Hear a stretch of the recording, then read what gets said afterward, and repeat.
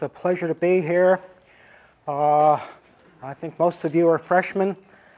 Uh, when I entered uh, university at University of Pittsburgh uh, as a freshman, I started in electrical engineering. That didn't last for more than a year. And then I went through a couple other majors trying to find what I was really interested in. So just consider the university as a place where you can find your interest and then really focus on it and educate yourself. After all, that's your job. We just help you on the way. And uh, what really brought me to my interest was uh, working myself through college and uh, working in the back wards of a psychiatric hospital as a night orderly and uh, finding uh, these human beings whose emotions had gone astray They'd lost their center of gravity, and since I was a night orderly, I had lots of time to read their case reports, which were wide open for consumption as long as you were working there. And uh, I became fascinated and wondered how I get into the field. I didn't have the prerequisites for medical school, so I was not about to pay for another year of college and uh, I decided that uh, I could get into the field by being a clinical psychologist. So the last year I just took psychology courses like crazy, and I was fortunate enough to uh, be accepted into clinical psychology at University of Massachusetts. And uh, the first year there, I was a little bored again because uh, I thought people would be talking about the emotional problems and how they emerge and what we know about them. But that was an era of behaviorism, and the main kind of therapy was behavioral modification. So if you modify the behavior, you supposedly modify the mind. That doesn't seem to, didn't seem to suit me, but I was fortunate enough to have a traineeship in a Veterans Administration hospital with all the wounded soldiers. And my training there was to go to three stations in the hospital of my choosing and finally decide where I wanted to stay. And I did autopsy uh, for my first rotation. And I did uh, psychotherapy for my second rotation. It was behavioral modification, and I wasn't all that intrigued by it. And then I ended up in the electroencephalography lab, and uh, the director of that laboratory, who was measuring brain waves, and you know, people had brain damage or epilepsy. Uh, that seemed fascinating. Uh, one was now in touch with the organ of the mind, and I thought you could not understand emotions unless you understood the brain. And emotions were barely being discussed in those days in the early uh, 60s, uh, long before you were born.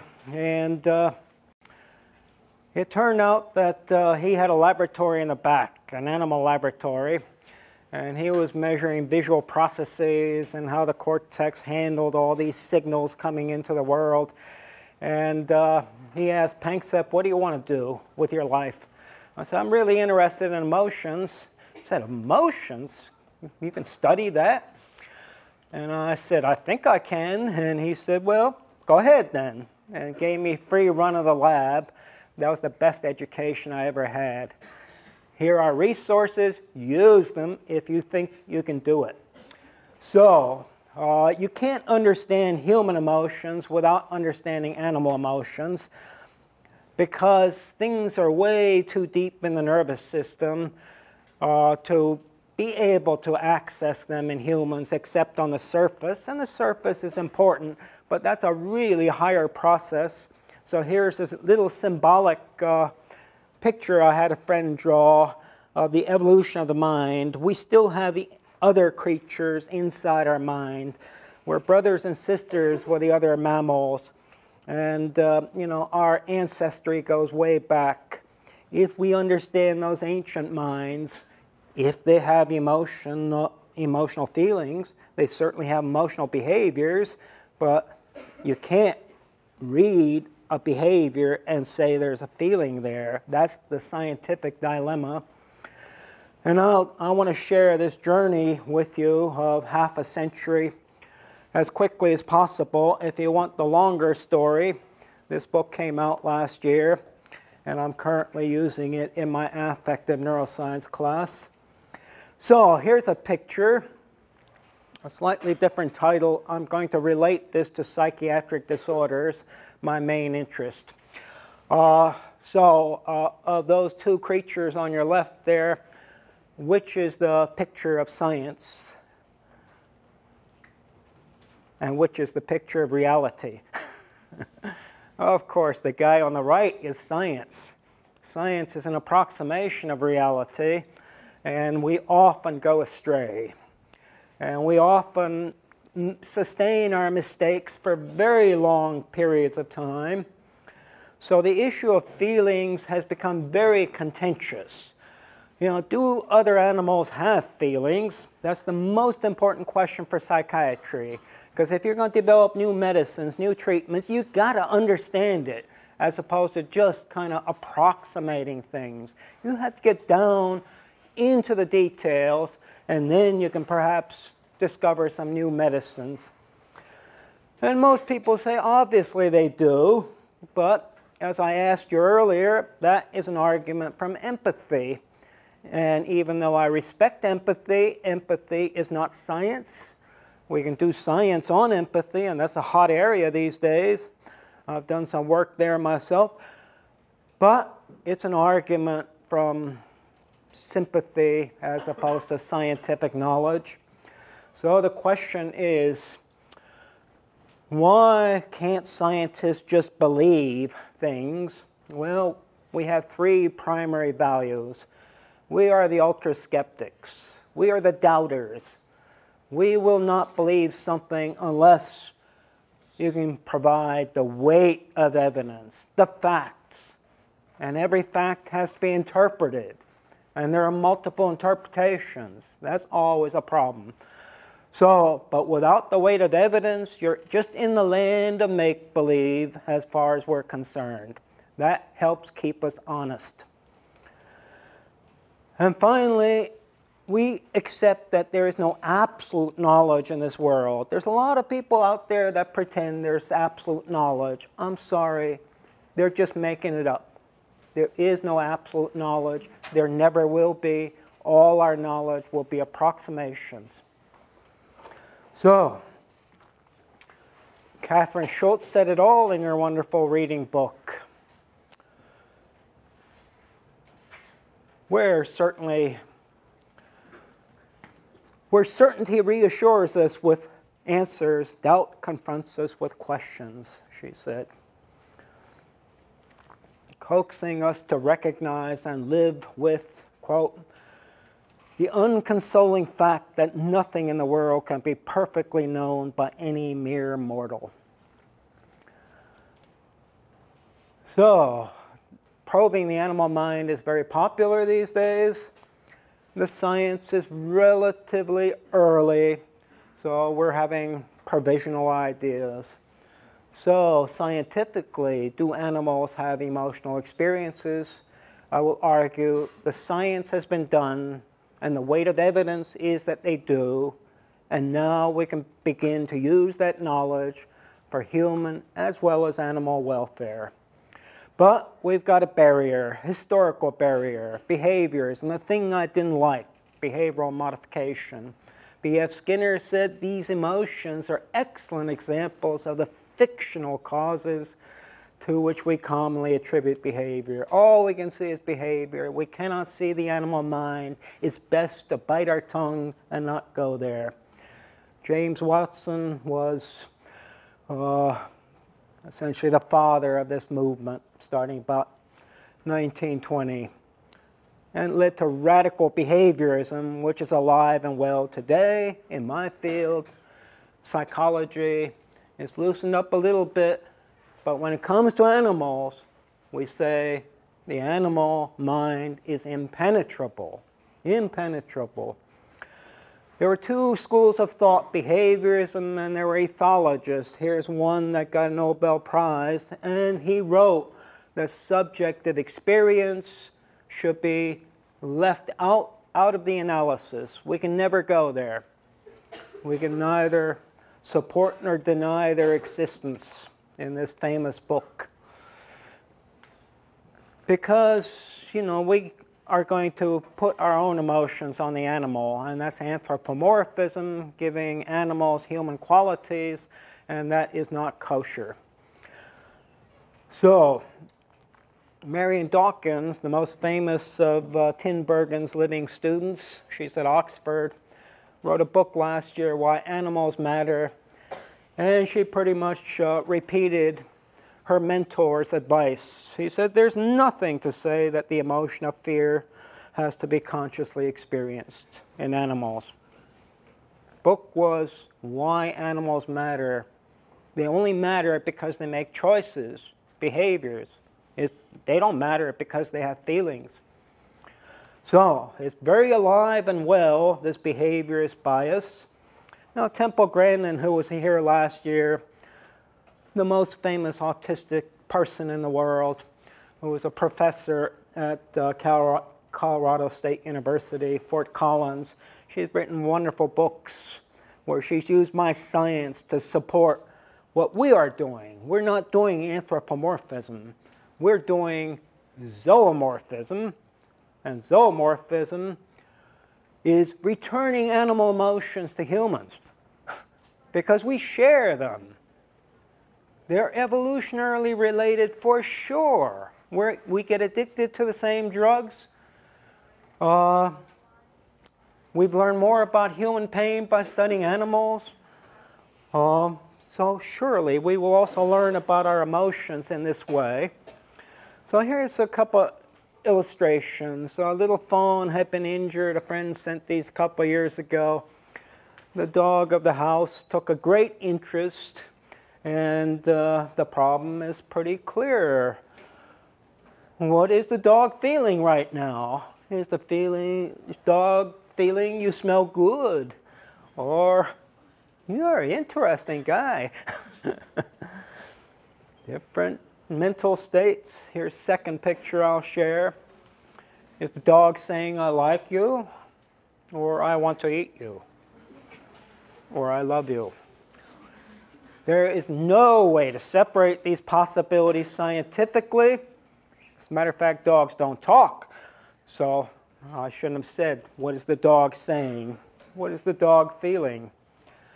So why try to scientifically determine if animals have emotional experiences? Well, if we understand their basic feelings, we will finally begin to understand our own.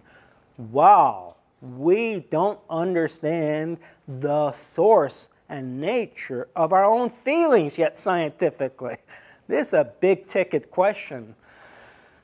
And I think it can lead to new mind medicines. At the end, I'll share three treatments that we are currently evaluating in human beings as a result of studying animals. Um, artist who I love uh, bought this rooster picture. She took it off a photograph, Lonnie Rosenberg. So how shall we ever understand experience of other animals? We have mapped the sadness system, the separation distress system, even in birds, chicks. And the anatomy and the chemistries are the same as our own. Isn't that remarkable? There are differences in detail. So let's go to the weight of evidence for the position I'm I've been advancing for 30 some years. Again, just summarizing, why study them? We're all curious about our own powerful feelings. Animal brain research is the only path to substantive understanding, causal understanding. Most animal lovers, those that raise their hands here, myself, are committed to the idea that they have feelings. Most scientists are skeptical. I showed you some. The most famous fear researcher in America, Joe LeDoux, last year said, we will never know what animals feel. So you can imagine the resistance in the field that one might have to battle with. But feelings evolved. They're a natural part of all our minds, and we are animals. Sophisticated animals, cognitively, emotionally, rather stupid at times. and you'll find that in your own life, how many stupid emotional mistakes you make. Uh, I've, I've made my share. Affective feelings, the feeling aspect of emotion, affects, always feel good or bad to humans. And animals can tell us whether certain brain systems are rewarding or punishing, namely good or bad, feel good or bad. We can test whether a circuit in the brain means something to the animal objectively. If we understand their basic feelings, we will finally begin to understand our own. So, what the heck are we waiting for? Well, we're waiting for these people to perhaps discuss all the evidence, which they wish not to do because they've taken strong positions. Again, we don't have rewards or punishments, water when you're thirsty, food when you're hungry, etc., etc. They always feel good or bad to us, and we can ask whether these brain systems feel good or bad to animals using deep brain stimulation, which is a common procedure in human therapy these days for Parkinson's disease. And we recently tested this idea with a new target in the human brain. People that had not gotten any benefits from anything else. So our, uh, the lower part of our brains guides the upper part. A lot of people think the lower part is unconscious. They're wrong. The unconscious is somewhere else in the brain. It's not at the basement. At the basement, you've got feelings.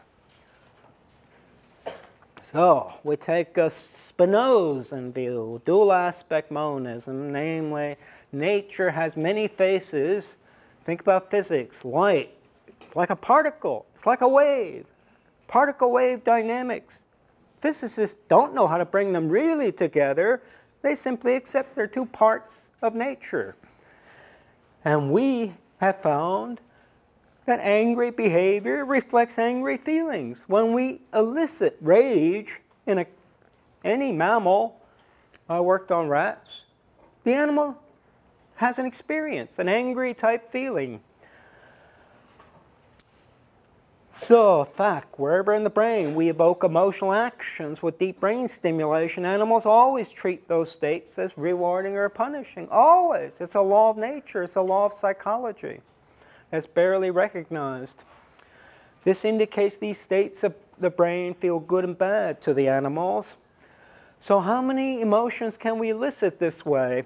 We actually use a specialized terminology, capitalizing every letter because the common words have too many meanings, too much excess, too much ambiguity. So there's a seeking system that leads the animals to explore the world with a, you know, great energy. What is the feeling like? Well, I'm, I think it's enthusiasm. Enthusiasm. And the university here is to focus your enthusiasm for knowledge. And you're responsible for that. The university is not responsible. It just gives you the resources to find your enthusiasm. Do find it. This is the time. Rage, you're pissed off. Everyone knows that feeling. Uh, what shall we call fear? Well, there's lots of words, anxiety there. What, what shall we call lust? yep. Well, if you can find a better word, let me know.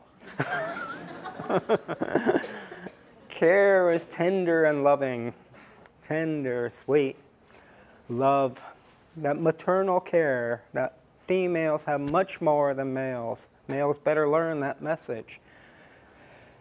There's a panic system we call that we map for the very first time that we think is the source of the psychological pain of loneliness and sadness the things that lead you down the path of depression.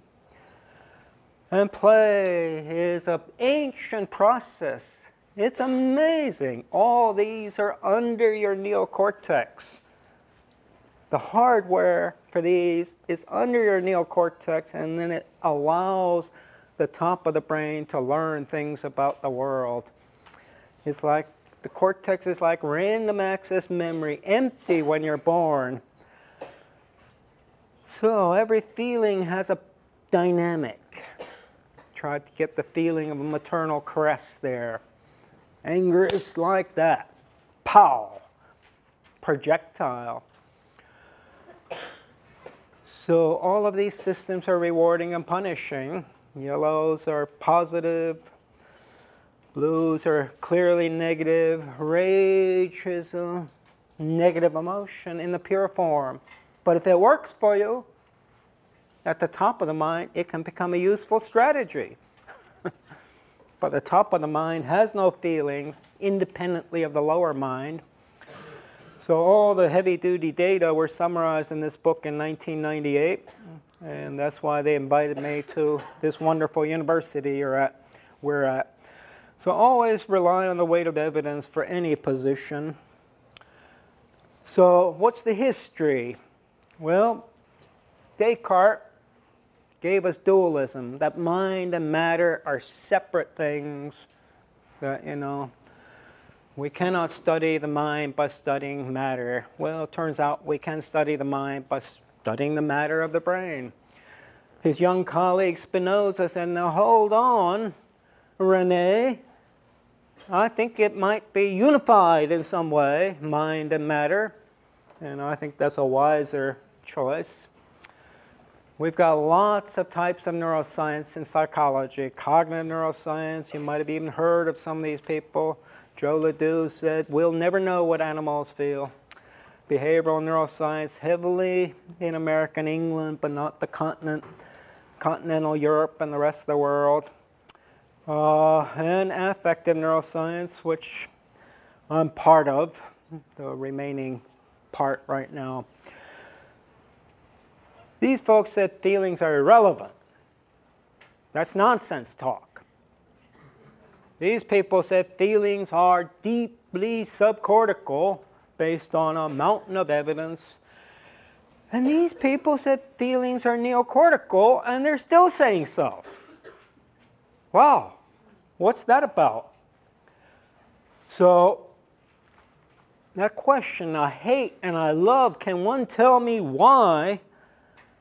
Science never answers why questions. I'll give you my answer for why because they're useful, they help us survive.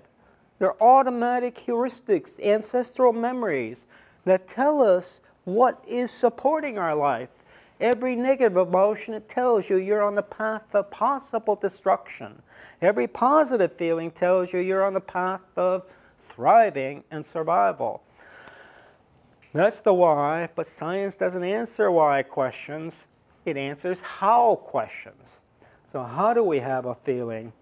Well, it comes from the subcortical terrain. Here's just one evidence for that. If you're mapping rage, as I did back starting in the late 60s, you can produce, you know, turn a peaceful animal, I was using rats, into a raging monster by stimulating the right part of the brain. And all the areas are deep and subcortical. The lowest one is the most important because the PAG there. You can produce rage there always, regardless of how much brain you damage. The other ones in the hypothalamus rely on the lower one. And when you go to the amygdala, that's high up, it relies on the hypothalamus and the PAG. So the bottom line is you can take the whole neocortex away and the animal still shows rage. They call it decorticate rage. And neocortex is there to control your behavior in complex ways. Most of them learned. How about humans? Does this apply to humans? There are children that are born congenitally decorticated.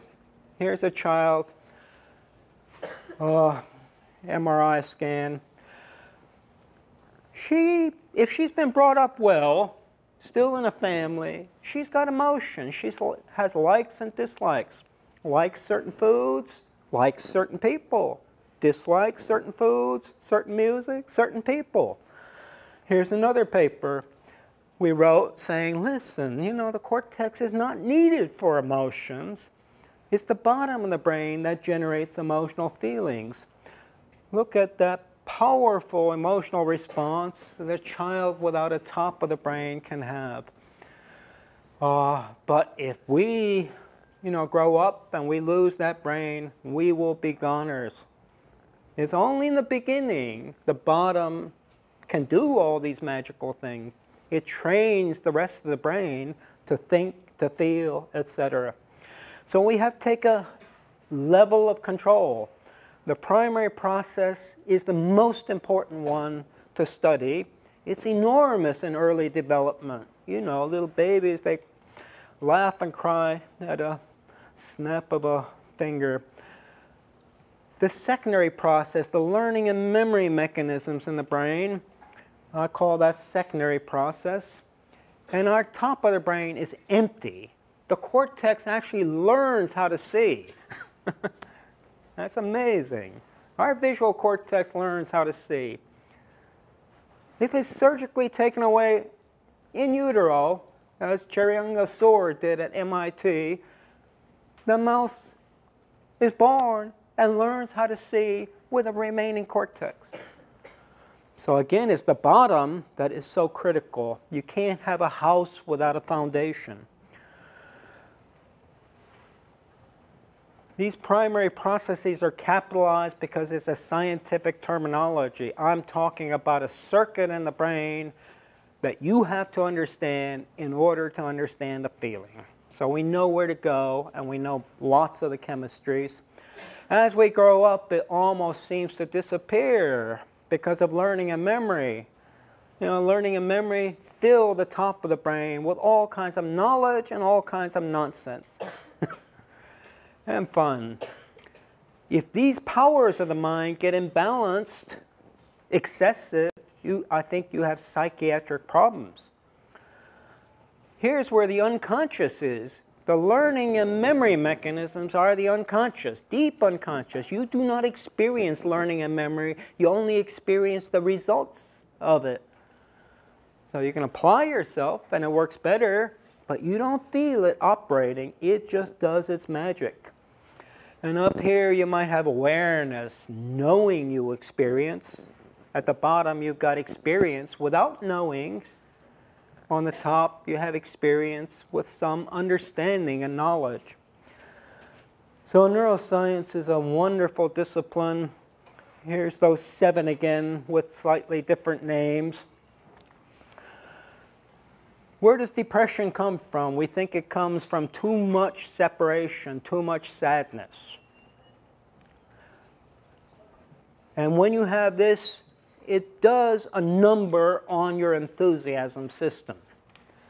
It suppresses it. And we've actually measured this, and it's true. If we overstimulate the separation distress system, enthusiasm goes down. It's a long story. And play can be a rejuvenator of enthusiasm and counteract psychological pain. Then there's an ancient system like this, and we think that if we can identify molecular pathways for social joy, we might have new antidepressants. One of them is in human testing right now. So there's no absolute knowledge, and if I'm sounding too absolute for you, I'm just trying to convince you that the evidence is pretty heavy, not a proof. Science is not a matter. Some people say, you can't prove that. I say, hold on, you must not have taken a philosophy course. Scientists never aspire to prove anything. That's for logicians and mathematicians. We only collect evidence for a certain argument. So it's supposed to be more humble than proof. So, the separation system, the psychological pain that it creates, it's enormous. We, we thought there might be a relationship between mother infant attachment, that loving bond, and opiate addiction. They've got similar characteristics. the first receptor, neurotransmitter receptor discovered in the brain was the opiate receptor. Three labs published it in 1972. And everyone said, now we have the explanation why it controls pain, why it controls coughing, and it has one other medical use. Opiates are pain, coughing. Anyone know what the other one is used? to save children when they've got life-threatening diarrhea like the children are having right now all over the Philippines as a consequence of the storm there. And all that bacteria. That diarrhea can be brought in control with uh, opiates. So brain opioids were discovered, and we think that's the bonding process between mother and child. If we recognize this, and it's a heavy duty uh, assertion based on a lot of evidence, if we had this clear in our minds, we would not be putting addicts to jail. We would be giving, insisting upon therapy as the first order of business for every one of them. But we're still primitive in our discussions. It turns out that brain opioids are superb in quelling psychological pain. That's why people usually get addicted. They find they're self-medicating themselves. Then we found that oxytocin, the molecule that releases milk from the breast when it's touched just right by a baby, it also in the brain controls psychological pain. And prolactin, the molecule that allows our body to manufacture milk, the female body to manufacture milk, also suppresses psychological pain. The, so the physiology, the neurochemistry, the body chemistry of caring for a baby are also the chemistries for caring for the baby psychologically. That's a miracle almost. Here's how we tested separation distress. We had beagles, some other breeds. And we separated from the mother for 15 minutes in a warm room, no physical distress, just being by yourself. And the little puppies cry almost 800 times. Beep, beep, beep, beep. Oh, that's a chicken, sorry. And here's a tolomian. They had slightly different responses. These are behavioral effects with opiates that are the lowest in the scientific literature. In other words, this is the mechanism in the brain that is most sensitive to opioids, the psychological pain mechanism. The animal doesn't like this feeling. Uh, because we mapped it in the guinea pig brain using deep brain stimulation. We know where the circuitry is anatomically. And then we went to chickens. That's why I was making chicken sounds. The chemistries in the chicken are the same as in the guinea pig and the dog and human beings. That's why I say we're brothers and sisters under the skin. We also mapped the chick separation system, and it was the anatomically the same as guinea pigs. And then along came human brain imaging.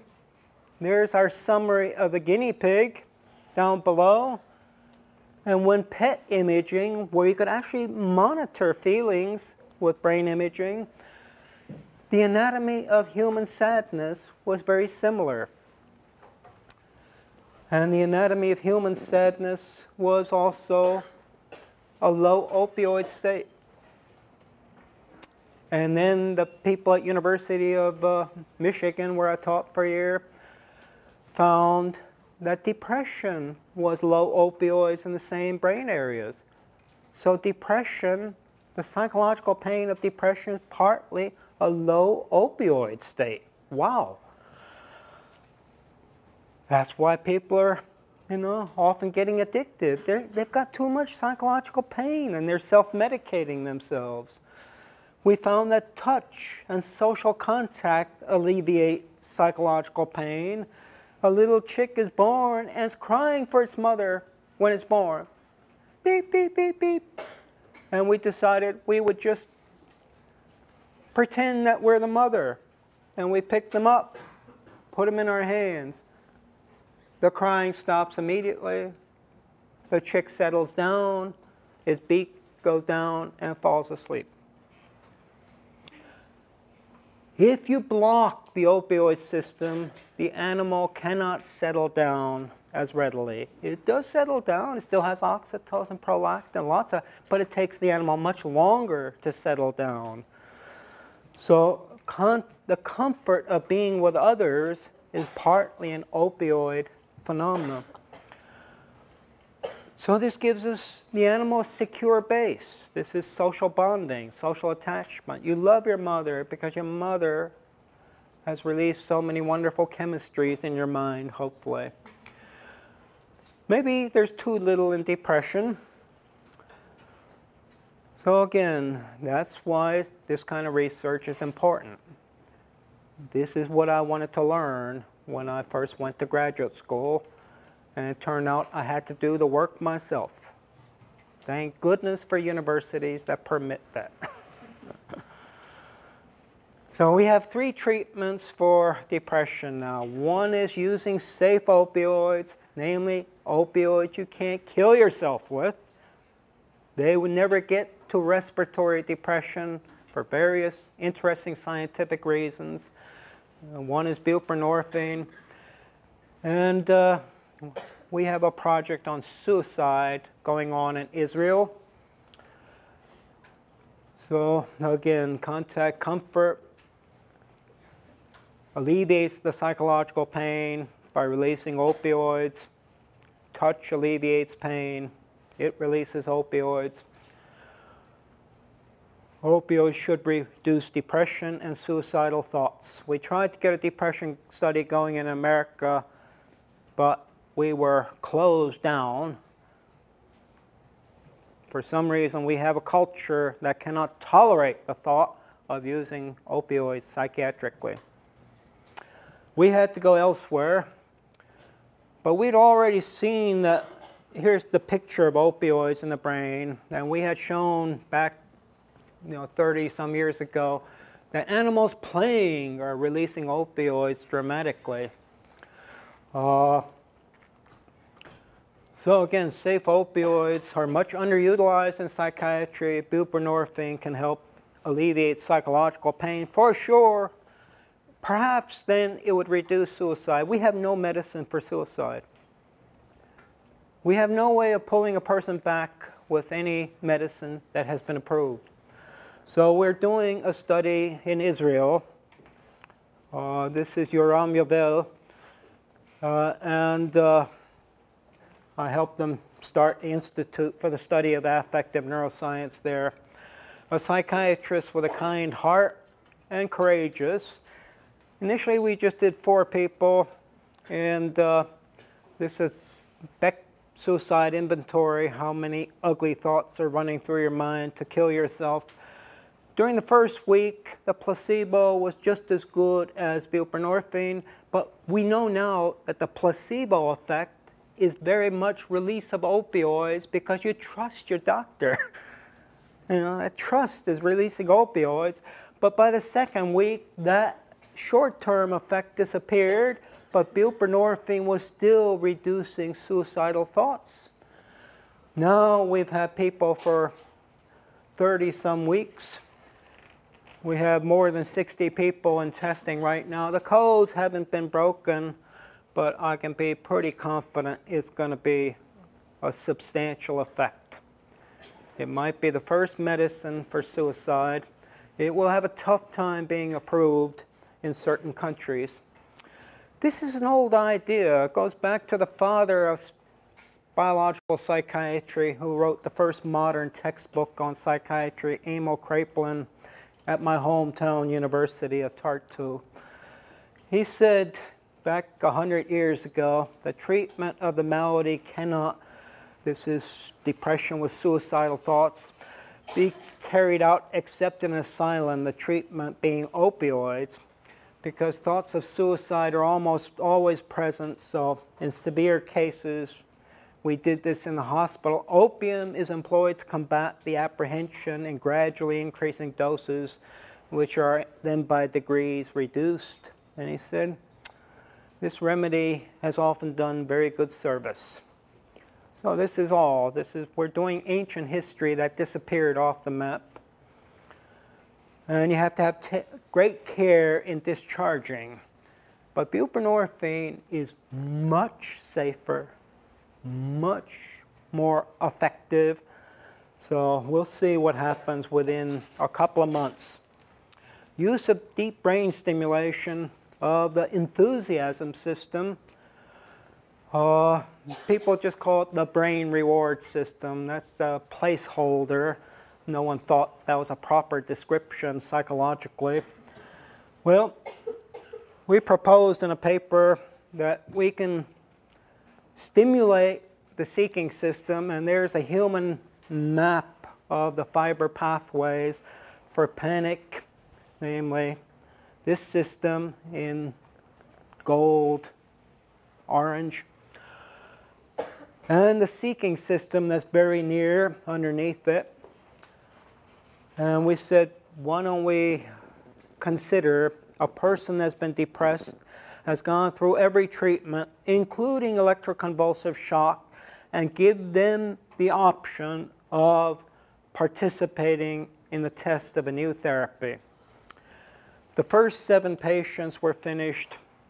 The idea is too much psychological pain, that gets too large, it suppresses the seeking enthusiasm system, and that's dysphoria, just feeling ugly all the time.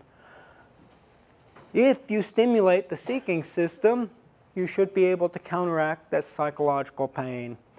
So, six of seven individuals that have been tested so far that have been resistant to all depression exhibited very robust antidepressant effects on the first treatment during the first day of treatment. And then it got larger and larger across the days. One did not respond. There's a story there, but I don't have time to tell it. So, it's published in Biological Psychiatry a couple of months ago. So finally, we've done a genetic analysis of play. Looked at the gene patterns in the cortex that change as a function of rough and tumble play in rats. We started this area of research. Uh, rats, young rats love to play, and it turns out to be quite easy to measure, quite easy to study in the laboratory. Why it took, you know, until we started for science to come of it, I'm not sure, but it's probably because of behaviorism. Playful behaviors reflect joyful feelings because we have an indicator of the joy, which is a rat laughter. 50 kilohertz chirp that's outside our hearing range, that really the sincere rat laugh looks like this, frequency modulated. If you just have the flat little thing chevron, that flat one does not indicate positive affect. That's just social communication. Anyone out there? Uh, so we've done 30 years of work on play. We've measured practically everything we can imagine. So we know what we're dealing with. And then we wanted to get the genetics and the circuits for play. After I finished in Ohio, I joined a drug development group, group at Northwestern. And they were working just on brain cancers, treating brain cancers, and they asked me to start a new psychiatric drug development program. And I said, let's focus on play as the way to identify joy promoting molecules, hopefully ones that are not addicting. And uh, if I'm hooked up to the sound system, I'll show you a video of me tickling rats in 1998. I couldn't publish this stuff, but the BBC heard about it, and they said they came out from England with a full filming crew to see it for themselves, and they had a, a documentary entitled Beyond a Joke, because we were advocating play for the treatment of ADHD because of its powerful effects on the nervous system in beneficial ways. Let's see if it's hooked up. As we have listened to animals playing, we have heard what appeared to be the sounds of laughter. And uh, we studied these for a couple of years without quite understanding that this might be laughter. And then one day we decided to tickle some animals. And we realized that we had to look at the sounds at a very different register than we can hear. So we uh, obtained these transducers that are called bat detectors that can bring very high frequencies down to our auditory range. And when we did this and we listened in, we could tickle animals and generate a lot of vocal activity that appeared to be laughter. These animals would begin to enjoy our company and they would start to play with our hands and wherever we would put our hands they would follow it.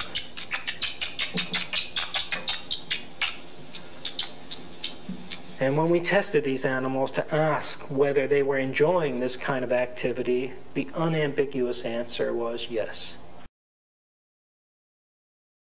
We developed the first psychoassay. Usually animal work is considered a behavioral assay. We have psychological assays, namely, how good do you feel? And we tickle animals, and that film shows how you tickle animals. And here's two-minute psychoassay works as good as biochemical assays. You've got a male and female rats being tested. 15 second of no tickle followed by 15 second of tickle. Repeat it four times, two minutes, and you can identify how happy the animal is. the happier they are, the more resistant to depression. The less they laugh, the more susceptible to depression they are. Here's two experimenters, me, experimenter one, and uh, my senior uh, female lab uh, person. We produce exactly the same results. That's what an assay is supposed to do.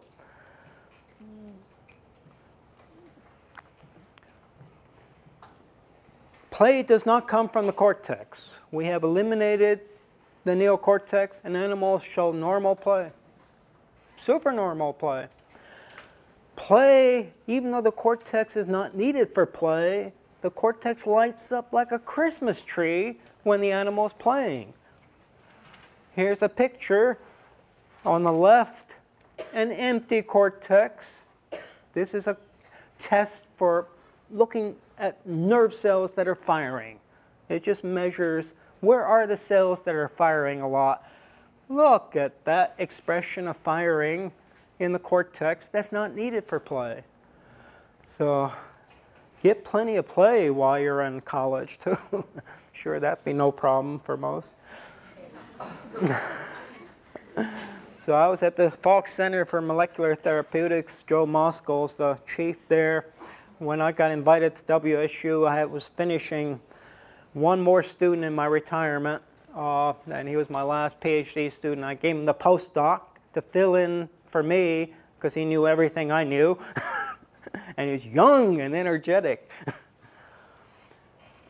so, can we find molecules that can promote social joy and depression? That was the question. We did the genetics on the cortex. It's a darn long story. And uh, You'd be falling asleep fast if I went into details. But basically, one third of the genes that we measure in the cortex, we measure 1,200 genes and how they're up or down regulated. One third of them were influenced by half an hour of play, one hour later. At six hours, there were still 33, 17, 73 in the front and back and the overlapping regions. Now we have 17 candidates as possible treatment modalities. So we had to figure out what they do in the brain. That's harder than the genetics. and it turned out that it modified a receptor. Now you can see the messenger RNA was elevated significantly. The protein was coming out like, you know, gangbusters. So this NR2B subunit of the glutamate receptor is within a package that is very enticing as a target for depression. A lot of people know that, but it's too powerful to modify.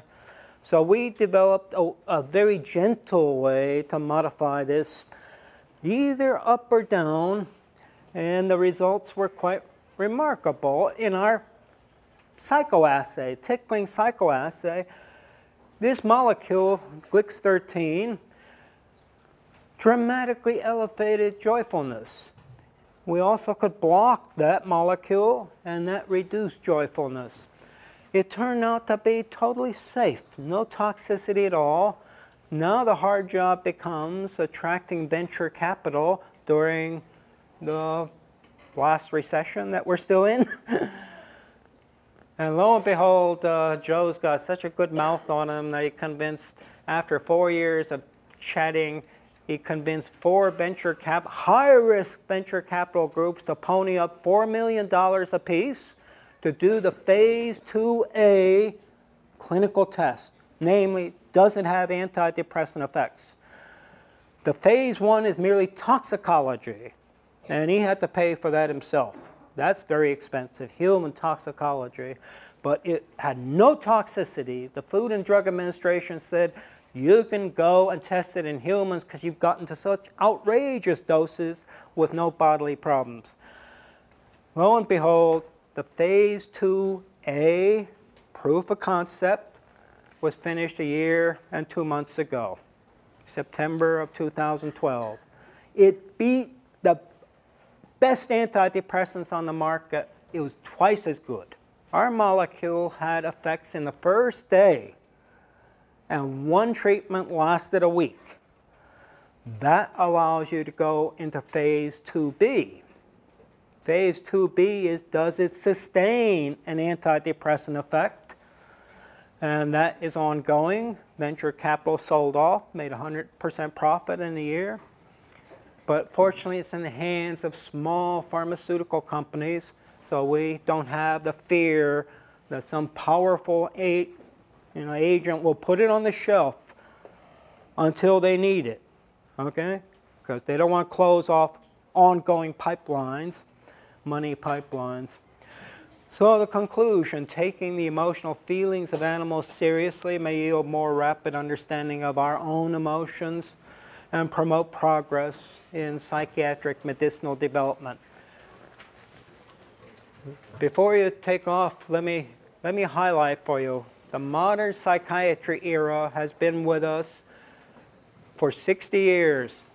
It started in 1954 with a serendipitous chance discovery of an antipsychotic called thorazine. Since then, every psychiatric medicine we have has been discovered by chance and serendipity and not human knowledge. Why has that been such a big problem when gazillions of dollars have been thrown down the chute? My answer is because we as scientists have not taken the emotional feelings of animals seriously. All we've had are behavioral models. So use your time here wisely it's really the only chance you get. Thank you.